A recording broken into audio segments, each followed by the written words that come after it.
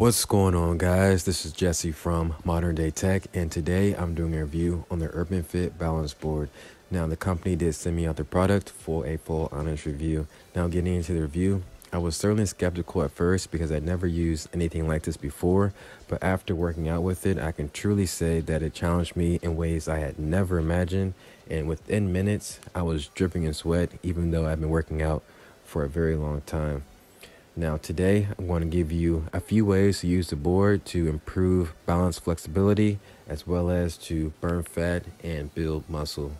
Now a great way to utilize a balance board is to do squats on them. The reason why these can be so difficult and I definitely found out firsthand is because not only does it target the muscles that are involved in the actual workout such as your quads and your glutes, it also involves so many different stabilizing muscles such as your hips and your core.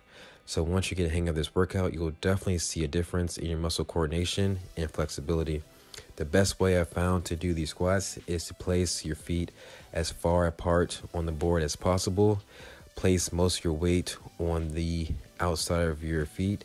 Come down to about 90 degrees and then come back up. Now, next you can try some pistol squats. Now, I found that this was a little bit easier in terms of finding your balance on the board. So you definitely want to place your foot in the center of the balance board, but definitely more taxing in terms of the overall strength required to, complete the workout.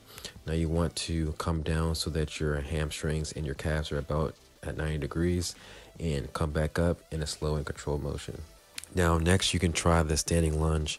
Now, this exercise definitely isn't as difficult as the ones we talked about before, but it is definitely something that you can try to build muscle, especially for your quads and your glutes.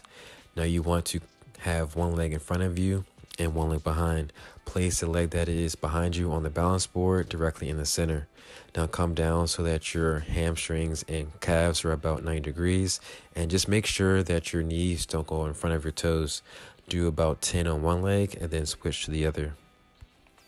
Now, a great way to target your upper body is to do an incline push up. Now, this variation of push up will be a little bit more difficult than your typical incline push up because you have to kind of balance yourself on the board, but it is definitely a great way to target your triceps as well as your lower chest. Now you just want to come down so that your elbows are about 90 degrees and then come back up.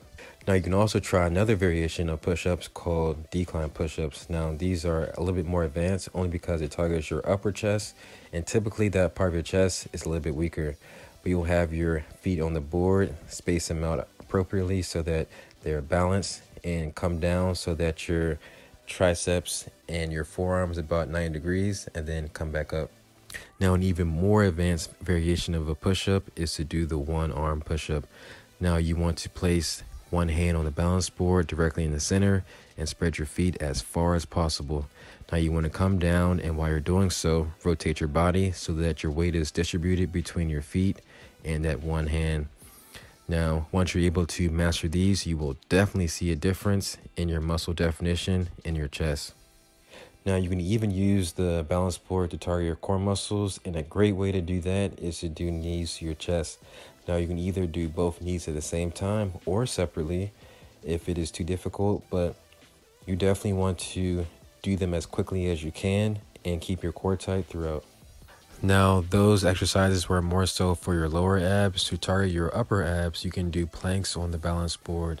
Now, place your elbows on the board pretty far apart so that the board is level. Keep your back straight and try to hold it for about a minute. Now, another exercise you can try is to do scissor kicks on the balance board. Now, you want to sit as close to the center of the board as possible and keep your core tight throughout. This is a great way to target your lower abs and really finish off your workout. Last but not least, we have calf raises. So you can place your feet on the board pretty far apart and then lift your heels off the board and keep your weight mostly on the balls of your feet. It is definitely important to do these very slowly and to squeeze your calves at the top for optimal muscle recruitment. But all in all, the URBNFit Balance Board is an excellent addition to any home workout. I highly recommend you check it out and please let me know if this review was helpful.